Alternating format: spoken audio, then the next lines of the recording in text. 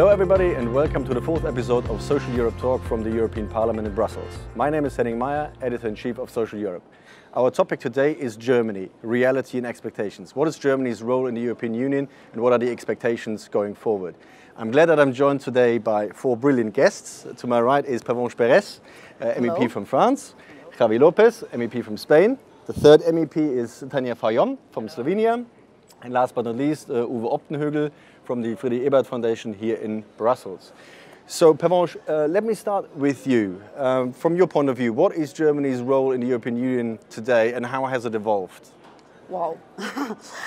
I believe as a French socialist, I would uh, start by saying how much it's important that um, there's a good relationship between France and Germany. You know, it's the kind of topic uh, everybody complains when it's pushing too hard their own agenda, but when it doesn't work, everybody worries. So we have to face reality, to be pragmatic. It's better when France and Germany uh, are on a strong European-minded uh, line. I think Germany, like any other society uh, in Europe, is hit by very troubling uh, waters. I mean, um, for me, it's really a, a shock that, um, or maybe not a shock, uh, but it's significant that uh, the biggest hits to democracy these days uh, did happen in countries that were the heroes of the ultraliberalism or the one who thought that the mondialisation heureuse, the uh, hopefully um, uh, globalization or the smooth globalization. Um, was the right way, namely UK with Brexit and the US with Trump. And I think this gives to Germany, uh, not only, but also to Germany, a very particular responsibility to make sure that what we represent as European is um, on the forefront of any agenda. And this is where, of course, the last uh, election and the last move in Germany, uh, we have to be very careful about it, huh? because everybody have seen that uh, the AfD had did uh, huge results or unexpected huge results in the last uh, uh, election, and that's a change, huh? Let's call it like this. Um, on the other hand, I'm, i must admit that um, things are really changing in Germany, yeah? because uh, I think on, on, some topic, and unfortunately maybe not on all topics, let me be clear. Uh, there are two topics where I can see really big changes. First, I think what uh, Chancellor Merkel did on the refugees is absolutely great. She was right to do it like this.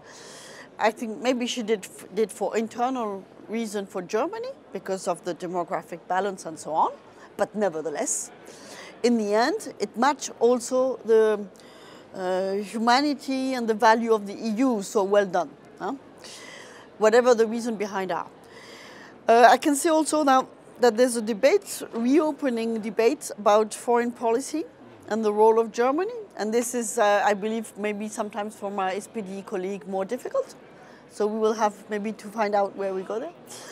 And of course, for me, the, the last field I want to touch, which is still the most difficult, is when it comes to the future of the euro and how do you um, overcome uh, the role of rules uh, and of the growth and stability pact, which obviously doesn't allow us to mm -hmm. have the best uh, outcome um, of any EU uh, or Eurozone economic policies.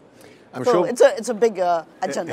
I'm, sure, I'm, sure, we come back to the Eurozone a bit later in the show. But Tanja, uh, let me get to you. And Pervenche already mentioned the uh, refugee policy that Germany uh, put in place. So against that backdrop, uh, what is your view of Germany's role in the European Union? Um, let me start first by my general impression. You know, I'm Slovenian and in my country we, we love uh, or we like Balkan mentality. We enjoy Italian food, but we admire German efficiency.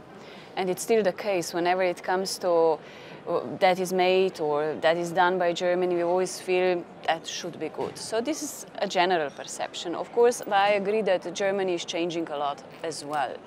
Now with the refugee situation, because I, I was and I am still dealing a lot with it, I have to say I admire the German role. I also admired, and I would, um, if we wouldn't have this attitude of Chancellor Merkel at that time, that um, she was saying, yes, we can do it, whatever the reasons were, uh, whatever the arguments that she might even invite more people than we wanted to see in Europe. But in fact, it was a very human approach. It was really something that I keep, I think it kept in a way balance in Europe because we saw in many European countries a lack of solidarity. We saw a lot of nationalism, hate speech, intolerance. And Germans managed somehow to keep, with her leadership, a balance. And it was a very challenging situation. I, there is no single or simple uh, answer to the refugee situation or migration crisis. But at some point I was worried if she would fail inside the German society that we would all feel consequences because we were getting into fences, borders, we were destroying Schengen area, freedom of movement. And I think here in that regard, Germany played a very important role. And not only, you have very good experience with um, integration, much better than, for example, in my country, because we are not even discussing integration. And I often went to German refugee centers or um, um, camps or see what is happening. You have this holistic approach through ministries that is something we can learn in my country how to do it. But um, on the other hand, we have very important history also. When Slovenia got after the war that started other wars in the Balkans, its independence, um, German Minister Genscher was in fact the first one who recognized on the international level Slovenia. So we always feel that Germany is an engine of European Union. It's very important for my country and we always want to be very close to it. And um, following the European politics for the last 15 years, it was almost impossible to have any decision without the role of Germany. This is still the case. It used to be more strong at some periods in time. It used to be weaker. It was very important to have this Franco-German, but we were also annoyed. There were moments we were also annoyed that why always everything has to go around Germany, why we are so much influenced. Yes, it's the biggest economy, but still other countries like small countries always felt, you know, we don't have our place. We are, you know, we have to do what the big countries mm. decide upon us. Mm -hmm. So uh, Tanja already made a, a few interesting remarks, yeah. uh, saying also there are very few decisions being taken without Germany, but obviously that has also its annoying moments. So what is the view from Spain then, Javi? Well, I, I, would want to start explaining uh, why we arrived here, no, to this uh, hegemony of uh, Germany. And I think um, it's quite new. It was uh, the last years, and it's uh, a mix between um, a correct work of, made by Germany and mistakes of the rest. If we see the last 20, 25 years, we had the reunification. This was a lot of demographic power to Germany. We had um, economic success, especially with this um, export orientation uh, policy that it was you see in the figures and the numbers of uh, Germany, uh, and it's uh, great. Uh, and third, uh, and also it was really important, the political stability of the country. And at the same time, um, the Franco-Germanic like motor for Europe, it was not so balanced the last years the power between uh, both, and United Kingdom was deciding to leave the last years. No, they engaged in the parliament. We see uh, with the Popular Party, the Tories, and finally with Brexit. And uh, this new hegemony of Germany, I think it's uh, one kind of uh, unwilling hegemony, also, because the Germans they have uh, this uncomfortable relation with the power, especially in Europe. Um, I think these are the roots of, of the situation, of the geopolitical balance of power now. Um, but uh, it was explained, this, uh, this was not managed well all the time the last years, especially in the euro crisis.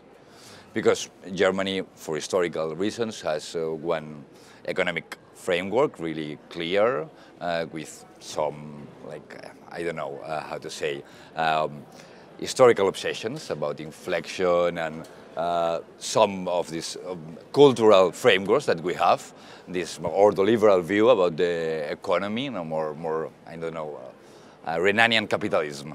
Um, and at the same time, we had a problem with the, with the euro. Uh, it was not um, complete, the design of the eurozone, and we didn't do enough. It was quite clear, and we are seeing the effects and the consequence of this uh, policy. But at the same time, we had the refugees crisis after, and uh, it was this moral approach that I think the Chancellor has of uh, the problems, and we should admire uh, the answer of uh, Germany. And with Trump and with Brexit, this puts Germany with a new role.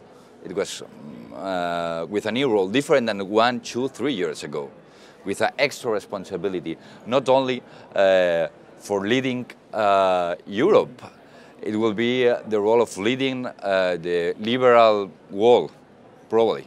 I know that this is a lot of responsibility for the Germans, but it will be like it, it is. Eh? Um, especially with Trump in the White House, uh, with this new identitary movement in, uh, in uh, United Kingdom, and with a weak position of the rest of the European partners. I mean, Uwe, let me come to you as uh, the other fellow German on this, on this panel here. I mean, we've already heard a few times now that uh, Germany might even be seen as the counter model, or at least a part of the counter model to what happened with Brexit and what happened in the United States uh, with Trump. But at the same time, what always rings in my mind is what the late sociologist Ulrich Beck uh, said, that Germany created an accidental empire. Yeah, yeah. Uh, be, that was in the, in the wake of the Eurozone crisis. So how, how do you reconcile uh, this from a German point of view? This accidental empire, do you accept this characterization? And at the same time, you know, the expectation, and we're talking much more about expectation now, Yeah, yeah. that Germany can be part of a counter model. Well, I mean, there, there's another um, uh, term that was used by The Economist, which uh, termed uh, Germany the reluctant hegemon. Yeah? So um, uh, I think we should be modest in relation to leading the free and liberal world. No, I, I say that very honestly, we should be modest. On the other hand, uh, I would say that Germany's role has de facto changed in the EU because traditionally uh, we defended the small states and we were advocates of the small states. And since the 1990s, we are somewhat more affirmative concerning our own interests. huh? Uh, so I think then with what you have mentioned, Javier, a certain economic success since the 2000s, yeah, it is somewhat not intentional but accidental that we ended up today as the dominant economic power in the first place in, in, in Europe. huh? And uh, uh, looking at, per, at Pervenche, at the French, uh, I think the Germans would have preferred uh, a stronger France and a Britain, uh, a strong Britain, remaining in the European Union. But that's at the moment not the case. So um, uh, I think if you accept that you de facto have this influence in case of the euro crisis, migration I comment in another context. Yeah? Um, if you accept that, then as being so powerful, you have to be responsible, which means you have to be more communicative, you have to communicate with the others, yeah? you have to explain what you do. And that, in my opinion, was one of the mistakes uh, Mrs. Merkel has done in the refugee crisis. From a humanitarian and uh, a moral point of view, I also think she was correct, but she should have uh, communicated it much better. It was poorly orchestrated, uh, and then in the end, the attempt to make it a European uh, solution has practically failed, if we're honest. uh. So, if we take that as an example, I think Germany uh, has to explain its politics much better, listen a lot more to the others, yeah, to mediate its own interests. One sentence on the Eurozone crisis. Um, I think uh, German politics were wrong because we were the driving force behind austerity. And if you look at the results after eight years, yeah, the results are poor. And they prove that this kind of structural reform approach, which namely Mr. Schäuble has promoted, has not worked. Greece has more debt today than it had when the crisis started.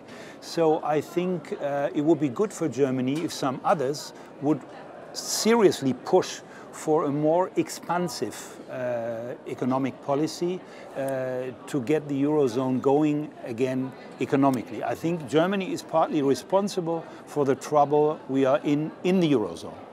Let me, let me pick that up and let's come to uh, a point of criticism. I mean, I, I, personally also agree that austerity has been nothing short of a disaster and has done a lot of damage. And you mentioned uh, the uh, refugee policy again. But apart from the content of the policy, can't you say that they, it created a lot of externalities by not involving European partners that necessarily were, for instance, part of the route mm. Uh, that refugees had to pass through yep. in that decision? And linking that to the Eurozone crisis, has it been the case that Germany has been unresponsive to alternative models of economic policy change? So, if you ask me, I would say yes, because there was an attempt by the French president, uh, together with the Italians, yeah, uh, not so much uh, supported by a conservative government in, in, in, Spain, but there was an attempt uh, to push for a more expansive policy uh, which would have not abandoned uh, uh, budgetary discipline, but would have complemented it with investment, with a smart investment strategy. Mm -hmm. And Germany has blocked that to yeah. some extent. yeah. is the approach seen as uh, dictating or is it seen as being cooperative from Germany? I think uh, somehow what uh, President Hollande has been trying to push for since he was elected uh, in June 2012, we just have to recognize uh, that uh, on the European files, he's been really pushing since the beginning that we should have the banking union on the mm. one hand mm. and an investment strategy. Mm. On the banking union, we are here halfway. Mm. And I'm just going to say one word because I, there's really a risk that because of the German position now on this dossier, uh, we end up with the same uh, dead end or a blockage that the one we are in the, in the Growth and Stability Pact. Mm. Let me explain. Um, with the Growth and Stability Pact, of course, I know by heart that there are two really different visions of how you rule, what's the role of the state, what's the role of a, a state in, as a driver for economic policy. On one side of the Rhine, you believe in politics, and on the other side of the Rhine, you believe in rules. I, it's a bit of a caricature, but it does look like this. And because of this, um, uh, uh, Lionel Jospin had accepted in 1997 when we went to the second stage of the euro, the Growth and Stability Pact, where there are two figures, 3%, 60%. 3% inflation, uh, uh, deficit, 60% debt. Um, and they had became they, they became fixed rules and nobody could touch it. Mm. And the trust is in the rules. The rules doesn't match reality. And now the same is coming in the banking union, where wherever there's a fixed figure, you have to go for this figure. Okay. Mm. So this is, but this is one of the reasons why I think we are now uh, blocked in this situation is I think Germany is a very powerful country, a very big country it has um, its own strategy. And at some stage... Um, what do you think that strategy is? Well, it's an ex export-driven strategy. Uh, it's, it started with uh, uh, the Schröder's reform, mm -hmm. and the Schröder reforms. Sometimes people believe it was the homework by Germany following uh, uh, uh, joining the euro. But I think this is a fundamental mistake. Mm. I think the Schröder reform were driven by internal reason, which is the re reunification of the country. That was the first challenge, and that was the driver for so strong reforms. And this is to say that uh, pff, what I think we, we lack the most is that um, when Germany is moving, how do you say it? Um, the main driver is going to be for internal reason, always. Mm-hmm. And each country will behave like this. Mm-hmm. But this cannot be mm-hmm. the outcome of the best interest of the EU. And somehow we have to recreate either a Franco German dialogue or a strong commission that allows this um, environment to, to take into account all the stakeholders, where Germany obviously is going to be a critical point, but cannot be only on its own. Yeah. But when it comes now to this question about uh, investment, of course, now we have the the token debate is there, huh? because we have the Juncker plan. So it's just a recognition that the EU is so stupid now to have an investment that is still below what it was uh, before the crisis. Yeah, exactly. And we don't recover from this situation. When we have an aging population, uh, uh, uh, an agenda for reform where we definitely need to enrich our people, to equip them uh, in training and, and, and, and knowledge based uh, uh, strategy. But for this, you need maybe state to have money to finance education, huh? Question mark. Yeah. Tanja, um, we've had a, a very few, a few very interesting points here. I mean, Pervenche mentioned the rules-based approach in Germany. You might say that's a cultural approach, but if you look at it uh, differently, you can also say, if you don't trust your partners necessarily, rules. you create have rules because you take yeah. politics Yeah, yeah. effectively off the table. You also say, uh, probably quite rightly, that the driving force is domestic. And especially if you have an export-driven uh, economic model, um, that is very much a domestic consideration. And you can see that also that um, the German government has not yet accepted the uh, balance of payments difficulties that result Yep. uh, from this kind of approach. So, what do you think? How can how can is this the case? Is Germany too driven by its own narrow considerations, and how could that be broken up or embedded in a wider Um, approach? Driven with national interests, yes, of course. I mean, uh, what we experienced also with the Greece crisis, in, in a way. Um, I perfectly agree that um, these austerity measures made more damage than good, and the whole Europe was suffering, not only Greece. Um, but with Germany, what it's interesting now how the role was changing.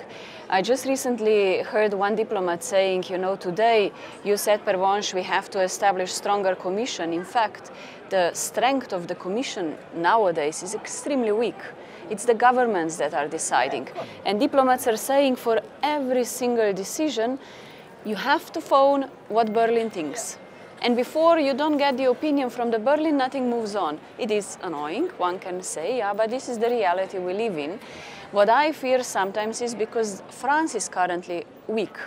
So if this engine that was existing and running this Europe in a way two biggest economies, France and Germany would somehow get into the difficulties, especially with France, or maybe even with Germany, who knows what the elections will bring, but then I'm not excluding that we are at the beginning of some process that might put European Union in big difficulties.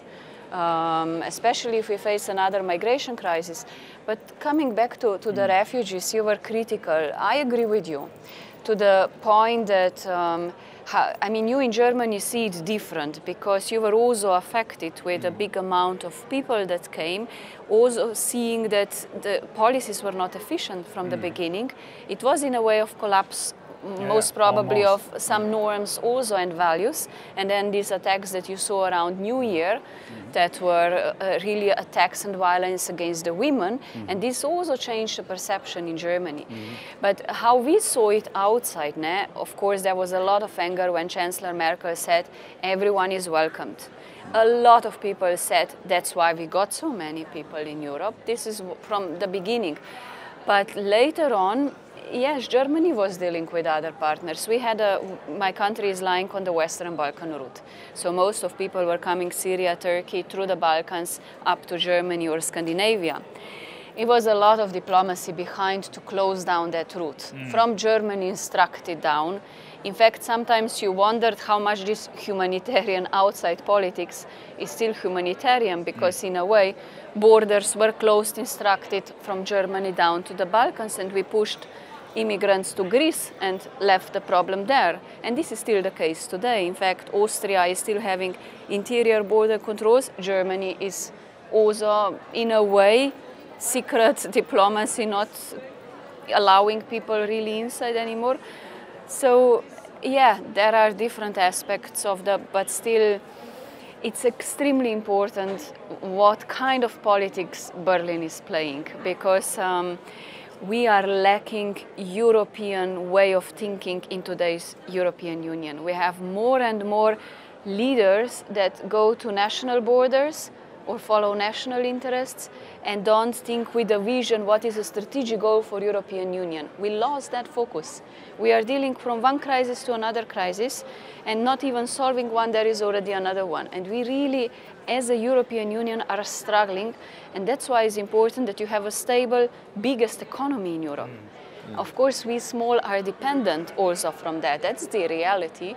But that's why I think even in the future, looking from German perspective, if, if there is not a strong partner, then um, I think we will feel that in all policies. Mm-hmm. Um, Javi, do you, do you agree with the uh, assumption that the driver of German politics is too narrowly domestic?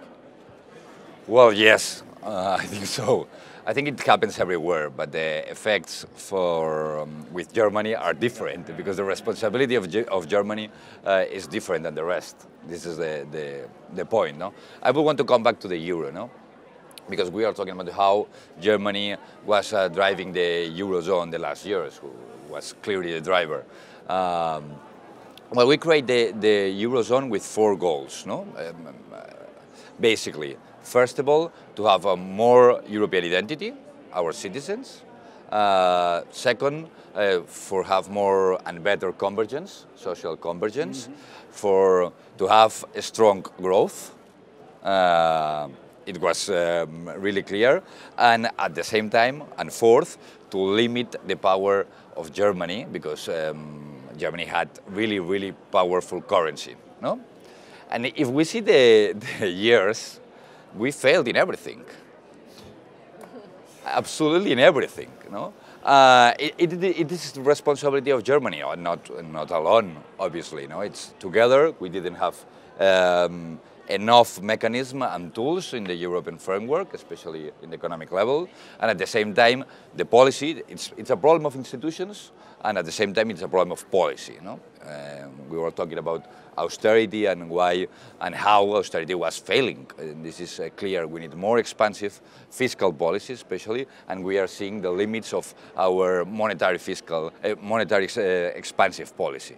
That it's really, really clear. No, it's working, but with limits, and especially uh, without um, tackle the real social problems and inequality. Uh, I will I will underline no uh, this problem that it's behind a lot of electoral movements that we are seeing in this uh, uh, moment. No?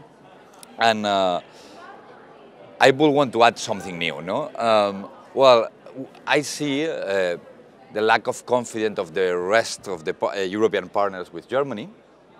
This is something that is happening now. And at the same time, I see lack of confidence of Germany with the rest of the European partners. Uh, well, and we have uh, really strong gaps, no? South and North, it's really clear. It was really clear uh, in the discussions of the Eurozone, no? creditors and debtors. And now uh, this new gap, more Eastern and Western countries. No?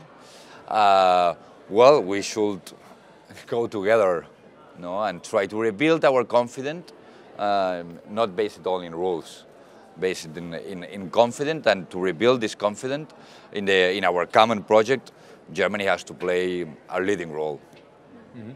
Uwe, uh, as the two Germans on, on this panel, um, we should be puzzled by one thing that, you know, there seems to be a, a broad agreement that the, the driver of uh, German politics uh, has been narrowly domestic. Of course, everybody has a certain degree uh, of, of the, yeah, yeah but uh, maybe with a different responsibility. But you know, one of the key pillars of the German post-war settlement was that German interest equals European interest. Mm -hmm, so that is actually against what the diagnosis seems to be. And do you think that maybe there is a lack of awareness in Germany, within German politics, about their own role that they assumed whether they like it or not. I certainly do think that. I think uh, German uh, politicians today, I dare to say that, are more provincial than 10 or 20 years ago. Uh, it's, it's, uh, this can be explained by very tough competition in elections uh, over domestic issues. So if you are a member of the German Bundestag or parliament, yeah, you can hardly win elections with Europe or with a better development policy of the European Union. You win elections with what people have in their pocket, with pensions, with migration and stuff like that. So we do have rather few uh, parliamentarians and political leaders with a geopolitical notion. Yeah? Mm -hmm. At best, they have uh, a perception, of course, of Europe, because I would say Europe is considered in German politics today domestic policy. Yeah? Uh, but without a geopolitical vision of the role of Germany in Europe and Europe's role in the world, you end up practicing that kind of stuff what Javier has described. I think the trouble we have is that the German government, and this includes the Social Democratic Party, because we are in government, yeah, have not told German people how much we have benefited from the euro and how much we have benefited from the poor countries who pay for the debts uh, uh, they pay for. Up to now, Germany has not lost anything. I mean, we're running a big risk because if the whole thing blows up, we will be held accountable. Yeah? But up to now, we have only benefited from it. And our politicians should have told openly, step by step, uh, this can't be a shock therapy, but should have started to tell people that we are the big beneficiaries of the euro up to now and that we have to do something about this export-oriented economy we have. We should uh, opt more for a domestic market-driven development model which would raise uh, wages in Germany, real wages, and perhaps could include some marginalized people who are voting AfD at the moment. So I think there is really uh, a problem um, with the communication of our government with our own people. Yeah? And, um, and with the substance of the policy. And, and with the substance of the policy. Yeah? It was comfortable not to talk about it. Uh, and on the contrary, German politicians, especially Schäuble, always said, we protect you Germans, that these crazy Greeks don't get a hold of your wallets. Yeah? But that is not the case. Uh, I mean, the poor Greeks are partly paying for our well-being mm. up to now. And that was never communicated. And I think that might be one of the chances uh, we may have. Actually, this is one of the frames that populists use. It's us against them. Absolutely. So that's why it's a dangerous path. Yeah. And that's maybe to, to end this part. I mean, that might be one of the positive things if really Martin Schulz, as a convinced European, enters German politics in election time, that we can start uh, informing our people better about our role inside the European Union. I think they are not aware uh, that the impact of decisions taken in Berlin is so enormous here in Brussels. Mm -hmm. They are not aware. So you already started the, the outlook, uh, which is good, Pervenche, uh, if I can come to you. Looking at 2017, obviously with elections in France as well as in Germany, how can the Franco-German engine be restarted? You know, I have a breaking news for you. For you. breaking news. As you know, uh, we already had um, in France uh, the primary election to, mm. for the right to choose their candidate. And uh, I mean, we were the socialists, we were the one to initiate this, these primary election. And obviously now it's becoming a, a very popular thing because the turnout was very high. And they had three very long uh, TV um, uh, debate, very much follow. How, how long did they dedicate it during these three debates about Europe? Well, not one minute. Mm -hmm. Not one minute. So, I mean, what you're saying about the situation in Germany is unfortunately exactly the same in my country. When we know if you take so many dossiers, the sustainability of our growth, the welcoming of the refugees, our answer to the situation in Syria, uh, how to react after the Trump uh, victory in the US, and I can add and add and add everything. If we don't have a clue of what we are going to do on this topic at the EU level, come on, forget about it. I think one of the reasons uh, we're in such a mess, it's not only about Germany not having a, a European mindset when it takes decision on its own, it's because countries are challenged in their inequalities, in their social redistribution, in the impact of globalization, and they don't they don't feel so much at ease on how to answer to this. And I think you have really um, a one-one answer between or, or, or questioning between the national level and the EU level. The EU is not in a good shape because member states are not in a good shape, and member states are not in a good shape because the EU. So where to start with? I don't know. My answer is we need to do both in parallel, and I hope next year will be an opportunity to do it. But I have one fear: is that following the Brexit, I think uh, Chancellor Merkel is completely um, obsessed by one thing, not to have more division in the EU. Fair enough. So this is why she's ready to go on foreign affairs business, and I think uh, it's a very good move. It's very well welcome, even though I do understand that for the SPD it's still a debate, because here in this house, each time you discuss this, there's no money for defense, no money for foreign affairs. This is a contradiction we have to overcome. Germany cannot be the country it is now with the responsibility it has. Trump will remind Germany about this. What? Donald Trump will remind Germany about this. Well, um, I don't know if they still believe NATO will, will, will secure their, their border. And we cannot have, for example, I mean, the kind of discussion we need to have with Turkey, it, it says something about our incapacity to have a common answer to Syria. So you cannot hide yourself be, be, behind these realities. But my fear is, because this would not be a dividing topic among the 27 remaining EU uh, country, Chancellor Merkel would very much like to focus on this, and she would not go to the root, which for me is the question of the sustainability of the euro as it stands. And you cannot have a euro where you have created a new tools, taking from member states some of their tool, and not recreating this at the EU level. Mm. I have here currently with one very courageous CDU member, Reimer Böge, and I want to, to give his name in, in this broadcast because I really admire his courage. He is a very pro-European CDU member in this house, very experienced, and he know if we don't move, the euro will not survive. Mm-hmm. And because the debate now is the situation is a mess because rules were not applied. And we say, just on a very ideological and, and stupid base, in the end, because there's no bridge, um, the rules are not applied because they're stupid and cannot be applied. And we're blocking this. But I think we need to do something about it. And for me, if we don't do something about it, if we only go for big ideas about defense, foreign affairs, we will die by the roots. So it's a serious business.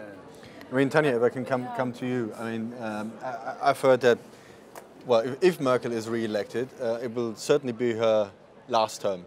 And uh, Well, know. so- so- well, most likely, most likely be her last term. And uh, a few uh, influencing or influential voices then think she would like to leave also some sort of European legacy uh, behind. So she might be bolder, and especially in, in sort of addressing some of these issues.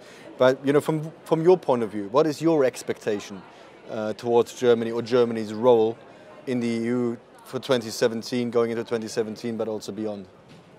I think the biggest challenge also for Germany will be to keep this union together and strong. Because um, we are facing, I think we are at a very important crossroads. We already leave Europe with different speeds, so or with different concentration or blocks, so different blocks of countries. And to overcome that and come back to the basic values that we establish, to come back to solidarity and to be in efficient European politics, we will need Germany to be very strong. Um, what was mentioned, and I see it's quite a risk that might divide countries, is what is the future of union? Because we, one way is we are strengthening the eurozone, so uh, very big focus on economic questions. The other, defense and security union, which are now the question of security is for me something that it's a very challenging one, and uh, especially because Europe was always promoting fundamental rights, universal freedoms. Um, and now we are promoting security. And this is something, where is the balance? Will we manage to find the balance or we will build a fortress Europe with borders, with high technology, with high data, you know, control and so on? How far we will go as Europeans in our individual freedoms? It's a big challenge, how Europe will develop. And um, for Germany, I think it will remain an engine. It's the biggest economy. And my, of course, dream would be we don't want to have wars in European continent. It's not self-obvious that with all the nationalism and extreme rhetorics, we are not heading exactly there. I think we should always, and also in German rhetorics, you have this strong history and you have this strong awareness to remind more often on good European stories. There are many things that are good in Europe. If we look, okay, now we have Europe that is still the richest continent in the world, but the distribution of the wealth is wrong. We created very rich people, very poor, in between people are lost. We have to redistribute, we have to make this Europe really social to take care for Europeans and put people at the core of the project and when people will feel that they have safety and dignity, then I think it will be much easier to communicate also European ideas and um, policies. And for that, I still believe Germany is playing a very crucial role. Mm -hmm. uh, Javi, what is your expectation towards Germany, especially you know, with Brexit on the cards? Well, um, we will see the next year a lot of uh, change. No? We will have elections in France and Germany, in Netherlands, and probably we will have the Article 50. Some more elections in Spain? Um, I think not. could be. Could be. We get two. two years, uh, yeah, two the last year it was enough, I think. uh, but um, we will see a lot of elections. It will be a really hot uh, year. Um, and at the same time, uh, we recognize that the rest of the world we will be with, uh, we will deal with uh, Erdogan, Putin, Theresa May, the EU, Trump. No? This is the world that we will deal. No? Uh, what I expect of Germany and of Europe, no? because I think it's talk about the same also. Um, well, I expect that in this world with these people, with Erdogan, with Putin, with Theresa May, with Trump, and with uh, the rest of the world, uh, we could be the voice of uh, the, defend, the defenders of a tolerant and open societies. The, yeah, and this is like defend the democracy, defend the, the institutions, the strong institutions, defend the fundamental rights. Mm. Because the discussion will be about this in the world. And I suppose that if we don't uh, defend these ideas, nobody will defend it in inter international discussions. Nobody will defend it. Mm -hmm. And, and Uwe, mm -hmm. uh, if I can finally come um, to you, is maybe against the backdrop of the lack of awareness in Germany uh, mm. about this role, is maybe the communication of these kind of expectations uh, one of the key issues. So uh, where, where do we start in Germany to you know, start build the politics that we actually need for Germany as well as for the wider European Union? Yeah, I think in the first place we have to start at home, but I think there's very little communication between Brussels, the EU, and Berlin, for example. So we should try to uh, stimulate uh, more exchange between parliamentarians. Uh, on the government uh, side, this is not the case because yeah. they meet in the council. Um, but uh, among parliamentarians, for example, and if you look at some of the more recent developments in public opinion, uh, I'm rather optimistic and not so pessimistic. With what we had in, in, uh, in the debate about TTIP or CETA, we, for the first time, had a broader European public. Yeah? Uh, people, people sometimes may be more aware yeah, of some issues being European than uh, the people they are governed by. Yeah? So um, I wanted to take up at the end of our conversation uh, one thing you mentioned, Pervenche, and I would strongly agree. We might die from an overdose of rules-based system. and that is typically German because our uh, experience is that this has worked. But all the other countries in Europe, or most of the other countries, and there are some Scandinavians that are very rules based also, but many other countries were also successful at different points in time with a different system. Yeah? Uh, so this is a cultural thing, this is an identity thing, and you can't uh, uh, change mentality of people who have had their uh, successful periods and less successful periods, as we Germans also had it after Second World War. You can't, by order, change that. So I think uh, if we look at the 2% inflation thing in the euro and the 3% budget deficit, these numbers are absolutely artificial. They are not science-based. There is no study anywhere that tell you that 2% inflation is good yeah, and 3% is bad. Or that 3% budget deficit is scientifically proven a bad thing to have, and 4% is even worse, and 2% is better. It's not existing. The other day we had a debate here with Stiglitz, who alluded to that. He said it's totally arbitrary. Now the problem is that once we have the numbers, and we have Germans in a position like this, they make the others stick to the numbers, which mm. I think in the meantime is really stupid. Yeah? So we have to break that up. We have to listen more, and I'm really afraid. I mean, what we as Germans should be interested in is a European Germany and not a German Europe. This yeah. is where I, will, I would like to agree with you yeah. because I pay tribute to Reimer Böge, but I would like also to pay tribute to Martin Schulz. Yeah. Because I think in all this debate, because he's been so much involved here in European politics, he might be very helpful. Yeah, we I think hope he, so. he will be very helpful to put this um, mentality in the public debate uh, in the next uh, German election. And then come back as the president of the next commission and we have it. So hopefully Martin Schulz can be a good ambassador for European interests uh, in Germany when he, as, as he's now announced, uh, will enter German politics uh, in, the, in 2017. Well, I'm afraid this is all we have time for today. Thank you very much for uh, watching and for listening to us and see you next time. Thank you and goodbye.